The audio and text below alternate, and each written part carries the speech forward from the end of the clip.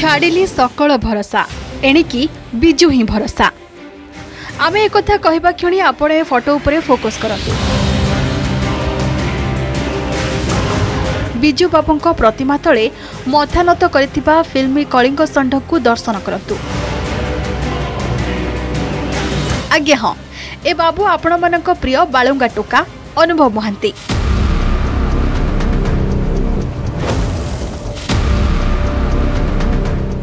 ଆଉ ଫିଲ୍ମ ମିଳୁନି। TV show ବି ହାତରୁ ଖସିଗଲାଣି।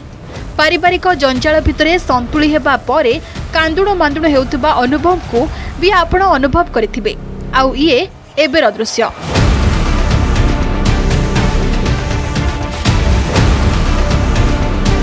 ପତ୍ନୀ ପ୍ରେମରୁ ବଞ୍ଚିତ। ରାଜନୀତିରେ କୋଣ ଠେସା।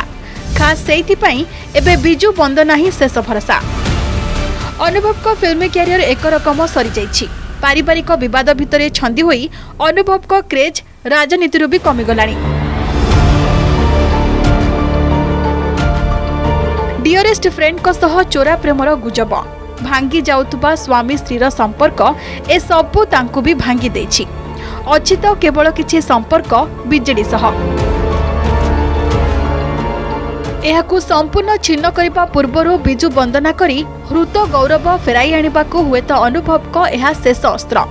ଆପଣ କହିପାରନ୍ତି ଏହା ତାଙ୍କ ଦଳ ପ୍ରତି ଚରମ ଆନୁଗତ୍ୟ। କିନ୍ତୁ ସତ ଏହା ଜଣେ ପଦସ୍ଥ ଏମ୍ପି ଥାଇ ବି ତାଙ୍କୁ କୌଣସି ସ୍ଥାନରେ ସମୁଚିତ ସମ୍ମାନ ଦେଇନି ପାର୍ଟି।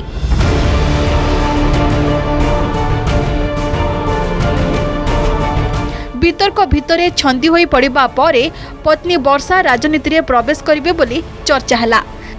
ନିର୍ବାଚନ ବେଳେ ବିଜେଡି ପାଇଁ ଷ୍ଟାର ପ୍ରଚାରକ ହେଲେ ବର୍ଷା। ହେଲେ ଅନୁଭବ ସେବେଠୁ ଆଜି ଯାଏଁ କେବଳ କୋଣ ଠେସା। ଇନ୍ଷ୍ଟାଗ୍ରାମ ପୋଷ୍ଟରେ ବିଜୁ ବାବୁଙ୍କ ପ୍ରତିମା ତଳେ ଗୁହାରି କରିବା ପରେ ହୁଏତ ଉପର ମହଲାର ଶୁଭ ଦୃଷ୍ଟି ପଡ଼ିପାରେ। ଏଇ ଆଶା ଆଉ ଭରସା ଭିତରେ ଅନୁଭବ। ଆମ ଅନୁଭବ ବି ଠିକ୍ ସେଇଆ କହୁଛି। ବାକି କଥା ସମୟ କହିବ। Bureau report Argus news.